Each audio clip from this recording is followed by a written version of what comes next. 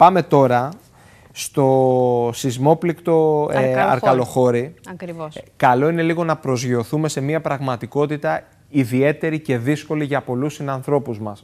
Όμορφα τα λόγια, τα ευχολόγια, τα χρόνια πολλά.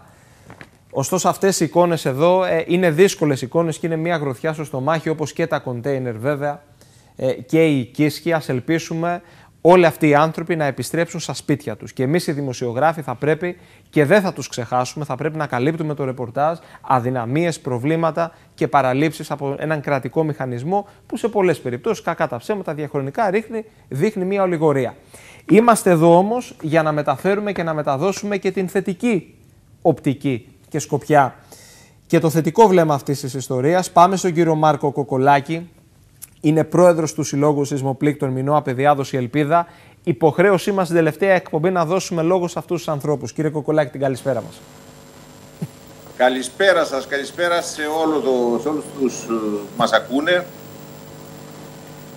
Και να πούμε ότι είμαστε εδώ, είμαστε δυνατοί, είμαστε ενωμένοι, θα τα ξεπεράσουμε όλα με τη βοήθεια του Θεού και των εθελοντών και κάποιων φορέων που έχουν πραγματικά σταθεί στο πλευρό μας πέραν κάποιων εξαιρέσεων.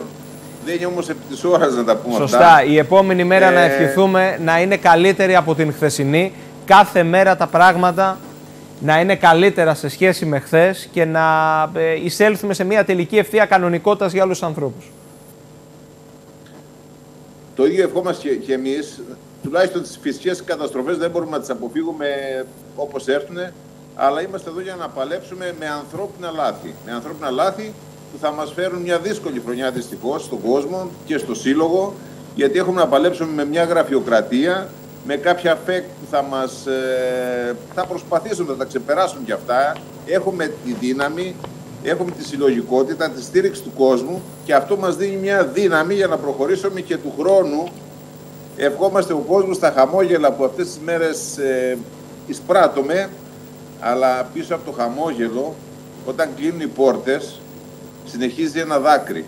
Βέβαια. Αυτό το δάκρυ θέλουμε να φύγει από τον κόσμο και να είναι ένα πραγματικό χαμόγελο με δάκρυα χαράς το επόμενο διάστημα και του χρόνου. Α το ευχηθούμε και εμείς από την πλευρά μας το 2022 να είναι ναι. τελείως διαφορετικό, γιατί το 2021 σημάδεψε μια για πάντα τις καρδιές και τις ψυχές των ανθρώπων. Ξέρετε, αυτοί οι άνθρωποι επιχειρούν να επιστρέψουν σε μια διπλή κανονικότητα. Από τη μία σε μια κανονικότητα όπως όλοι μας, με φόντο την πανδημία και τον κορονοϊό, και από την άλλη σε μια κανονικότητα να επιστρέψουν στα σπίτια τους και στη ζεστασιά του σπιτικού τους. Και με δεδο... Συγγνώμη, σα διακόπτω. Και με δεδομένο του εγκέλαδος εξακολουθεί να κάνει αισθητή την παρουσία του. Έτσι είχαμε και τα μεσάνυχτα, τα ξημερώματα, είχαμε νέο σεισμό. 4,2 βαθμοί της κλίμακας Ρίχτερ. Αλλά να ολοκληρώσουμε.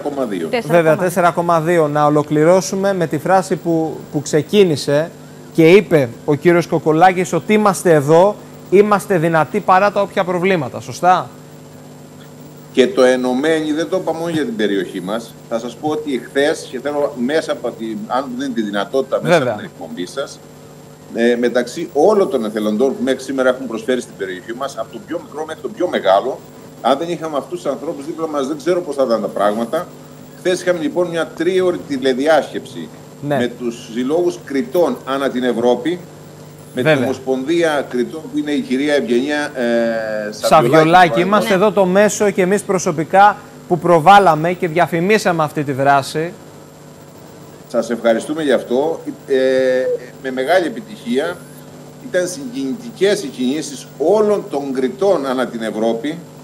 Ε, τους πραγματικά τους αισθανόμαστε δίπλα μας και αυτό η δύναμη που μας δίνει είναι πολύ μεγάλη αυτή τη στιγμή γιατί δεν είμαστε μόνοι.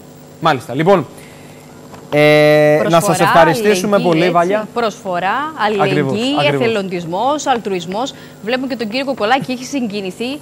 Ε, και, και πώς θα με συγκινηθεί ο άνθρωπος μετά από τόσες δυσκολίες που περνάνε Βέβαια. καθημερινά. Α ελπίσουν το 2022 να είναι τελείως διαφορετική χρονιά. Κύριε Κοκολάκη. Και δυστυχώς είμαστε μέσα στην πηγή των προβλημάτων. Τα ζούμε καθημερινά στο που έχουν περάσει το πετσί μας. Να σας ευχαριστήσουμε πολύ. Εδώ είμαστε και όλα, όλα θα πάρουν τον δρόμο τους. Να είστε καλά, κύριε Κοκολάκη. Να είστε καλά. Λοιπόν,